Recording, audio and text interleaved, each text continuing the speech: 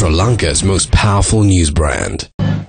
හිටපු අමාත්‍ය බැසිල් රාජපක්ෂ මහතාට සහ දෙවිනැගුම සංවර්ධන දෙපාර්තමේන්තුවේ හිටපු අධ්‍යක්ෂ ජෙනරාල් කිත්සිරි රණවක මහතාට එරෙහිව නීතිපතිවරයා පවරා ඇති නඩුව ලබන මාර්තු 13 වනදා දක්වා කල් තැබීමට කොළඹ මහාධිකරණ විනිසුරු ගිහාන් කුලතුංග මහතා අද නියෝග කළා. නඩුව ගොනු කර ඇත්තේ පසුගිය ජනාධිපතිවරණ සමයේ දිවිනැගුම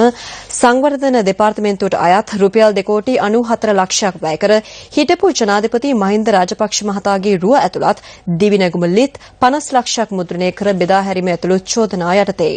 එම නඩුව මහාධිකරණ විනිසුරු ගිහාන් කුලතුංග මහතා ඉදිරියේ විභාගයට ගැනීමට එරෙහිව ගොනුකොළ පෙත්සම සලකා බැලූ අභියාචනාධිකරණය මහාධිකරණ විනිසුරු ගිහාන් කුලතුංග මහතා ඉදිරියේ එම නඩුව විභාගයට ගැනීම තහනම් කරමින් ලබන පෙබරවාරි 2 වෙනිදා දක්වා බලපැවැත්වෙන පරිදි නියෝගයක් කර ඇති බව පෙන්වා දෙමින් රජයේ ජ්‍යෙෂ්ඨ අධිනීතිඥවරයා කළ කරුණු දැක්වීම සලකා බැලූ විනිසුරුවරයා නඩු විභාගය කල් තැබීමට නියෝග කළා.